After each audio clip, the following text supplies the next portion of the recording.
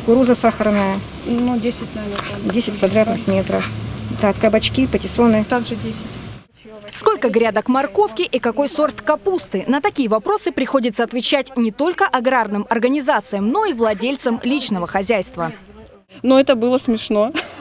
То есть я сразу, ой, сколько же я там же не меряю. Ну, там посадила, сколько пакетиков купила и все. Ну, пусть она подробная будет. В принципе, это же для статистики нужно. Не для того, чтобы там кто-то посчитал, ага, у тебя там 10 грядок, а у меня 5, посажу-ка я себе еще 10.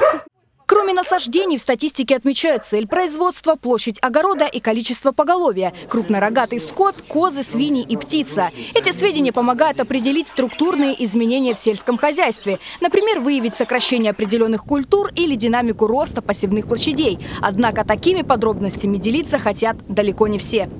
Сталкивалась, конечно, я с тем, что человек не хочет отвечать.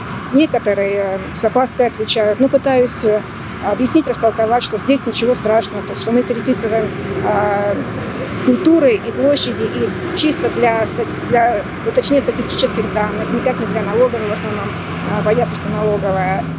Сейчас на территории края работает более 900 переписчиков. До конца августа им нужно исследовать свыше тысячи сельхозорганизаций, более 4 тысяч крестьянско-фермерских хозяйств и индивидуальных предпринимателей, а также 374 некоммерческих гражданских объединений и около 500 тысяч личных подсобных хозяйств.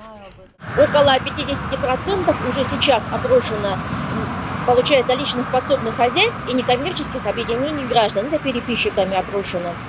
А также у нас около уже 30, больше 30% сельхозорганизаций и крестьян сдали сами в электронное, с, с помощью электронно-цифровой подписи сдали сведения по, у нас в Алтайском крае.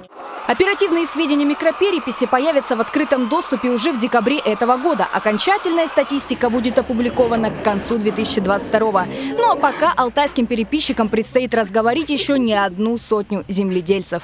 София Яценко, Александр Лизратов. День с толком.